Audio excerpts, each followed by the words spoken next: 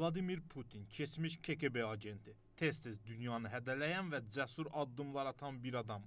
Əslində isə çox dərin və qaranlıq keçmişi var. Tərəfdarları qədər ona qarşı olanlar da var.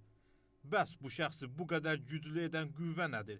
Bu gün Rusiyaya getsək Putin hər hansı uşaqlıq və məktəb yoldaşlarını tapmaq mümkün deyil. Qarşımıza keçmişi olmayan bir şəxs çıxır.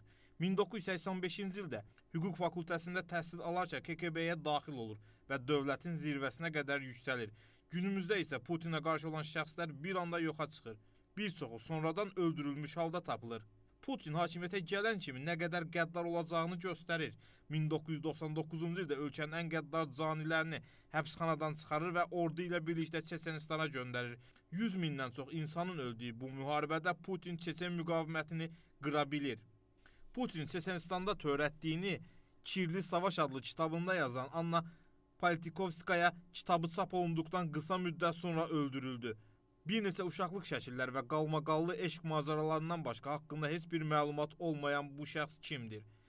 Bəzi iddialara görə 1991-ci ildə daxili iqtisadiyyatı çökən bir ölkəni yenidən dirçəldən Putinin də aralarında olduğu Rus gizli təşkilatı var. Əslində bu iddia məntiqli sayıla bilər.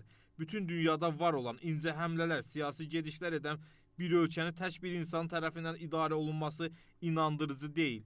Bundan 10 il öncə Moskva küçələrində gecələr hərəkət etmək mümkün değildi. Quldur dəstələri hər yeri ələ keçirmişlər.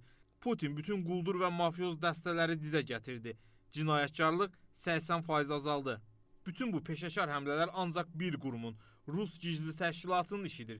Yəni dövləti idarə edən təkcə Putin olmadığı aydındır. Bütün bunlar isə sui-qəsdlər və cinayətlərlə əldə olunur. Məsələn, illərlə Qafqaz dağlarına savaşıb sağ qalan Çeçen müzahidlər və komandirlər gündüz vaxtı İstanbulda tək-tək öldürüldü. The Guardian nəşri bütün bu sui-qəsdləri Putinin gizli təşkilatı tərəfindən həyata keçirildiyini aydınlaşdırmışdı. Qısacası görünən güclü və xarizmatik Putinin arxasında qaranlıq bir əl var.